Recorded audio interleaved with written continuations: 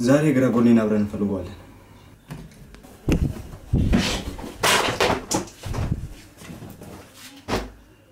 የለም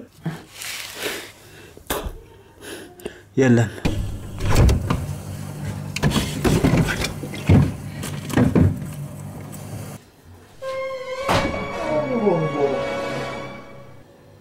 አገኘሁት።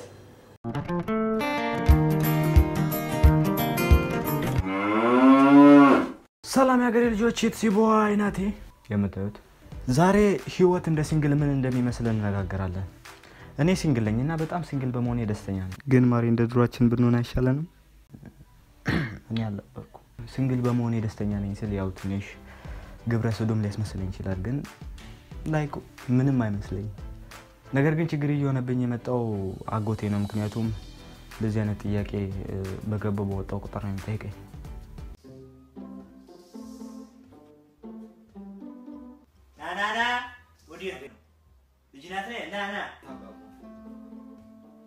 ማናገርህ ነገር አለ።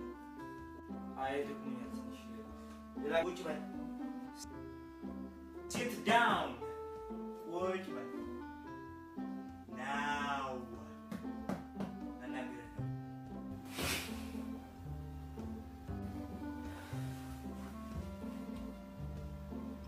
እኔ የምልህ ይሄ በር ተዘግቶ መዋል ብቻን ተቀምጣ መተከዝ በተዘጋ ቤት ውስጥ እንደዛ መሆንን አልወደድኩትም። የእኔ የምትላትን ልጅ አስተዋውቀኝ አላልኩህም? አባሜ አሳስበው እኮ ነው የሚያሳስበው። ይኸው match dot com ውስጥ ገብተህ match የሚያደርገን ስትፈልግ ይኸው March አለፈ አይደል እንዴ? ይኸው March ጠባ አይደል? ኧረ ተው ናቲ ስማተው እኔ በአሁኑ ህይወቴ ደስተኛ ነኝ። በዛ ላይ ሴቷ በራሷ ጊዜ ትመጣለች። ጓደኞቹ አሉ፣ ቤተሰቦች አሉ። እኔ በአሁኑ ህይወቴ ደስተኛ ነኝ። አረዲያ እነዛ ደግሞ ጓደኞች ናቸው እንዴ? እዚህ ለከተማ ለከተማ ስትዞሩ አላቃችሁም እንዴ እናንተ? መንገደኛ ስትከለክሉ መንገድ አላቃችሁም እንዴ እናንተ?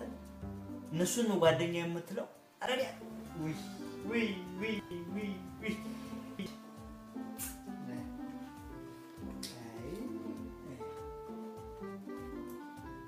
አንተን ከምወልድ አንተን ከምወልድ ናቲ ኮባ ብተክል ለጎረቤት ሁሉ ይደርስ ነበር። ለጎረቤት ሁሉ አይ ታማረኛ ያለ እናት እንዳሳደግኩ ታውቃለህ። እኔው ስመላለስ እንደ እናት ስሯሯጥ አይደለም ያሳደግኩ። ይሄን ታውቃለህ። ቁሙ የኔን ተወውና ያንተ እናውራ። ትላንት የሆነ ሴትዮ ያገኘው አላልከኝም? እንዴ? እንዴት ነበረች? ይዋ ትበል ሴትዮዋ አይደለችም ልጅቷ እድሜዋ አንድ ሰባ ቢሆን ሴትዮዋ ሴትዮዋማ ቆንጆ ነበረች። ሰው ነፍሷን የማረውና ደግሞ እንደ እናትህ ነበር። ቁጭ በቃ እናትህን ነው የምትመስለው።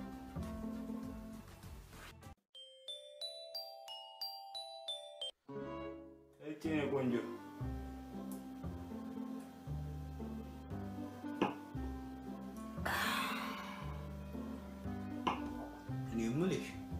ተጫዎች መጣው የኔ ነገር ውስኪውን እኮ ረሳሁት። የኔ ነገር ይዤ መጣው። ተጫዎች መጣው መጣው እናቴ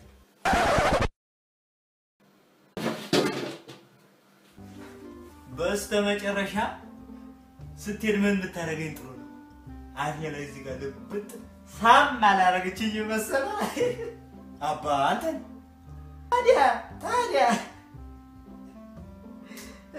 እኔ አባትህ እኮ የዋዛ አይደለሁም። እኔ አባትህ እኮ የዋዛ አይደለሁም። አንተ በመና አባት እንደወጣህ አላውቅም እንጂ ይህቺ እናትህን ድሮም ከሌላ ጠረጥራት ነበር እኮ እኔ እ? በነገር ሳታመጣቸው አ፣ ይሄን ነገር ወደ ቦታው መመለስ አለብን።